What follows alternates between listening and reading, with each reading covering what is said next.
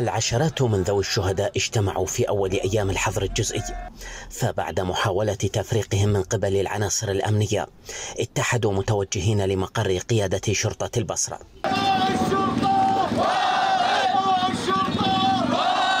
هتافات ومطالبات بتنفيذ أحكام الإعدام لقتلة الناشطين والإعلاميين الذين أصبحوا اليوم خلف القضبان. رغم الظروف اللي يتعرضون لها المحتجين بصورة عامة من خطف واعتقالات واغتيالات وملاحقات، اليوم شباب البصرة يجسدون وقفة أخرى ويجسدون ملحمة من ملاحم البطولة ويكررون وقفتهم للمطالبة في في الكشف عن قتلة المتظاهرين، وبإذن الله مستمرين على هذا المطلب والمطالب الأخرى. إحنا ما عندنا ثقة متكاملة لين نشوف الشيء بعيننا. هذا الشيء إحنا ما نثق بالحكومة المحلية إلا نشوف الشيء.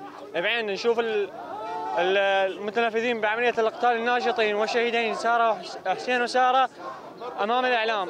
حدة المطالبات الشعبية بحسب المتظاهرين عادت مجددا ولا تتوقف إلا بجدية القضاء وضبط الأمن بشكل يضمن سلامة المتظاهر والناشط وعناصر السلطة الرابعة. فالأيام المقبلة ستشهد استمرار التظاهر السلمي حتى تنفيذ الحكم العادل بالمتورطين بدماء الأبرياء. أنا أطالب رئيس الوزراء الكاظمي أن تكون المحاكمة علنية وأمام الشعب وكشف الرؤوس المدبرة خلف هؤلاء. خطوة ضغط جديدة بالتظاهر لتنفيذ الأحكام بحق المتورطين بقتلة الناشطين والإعلاميين والمتظاهرين.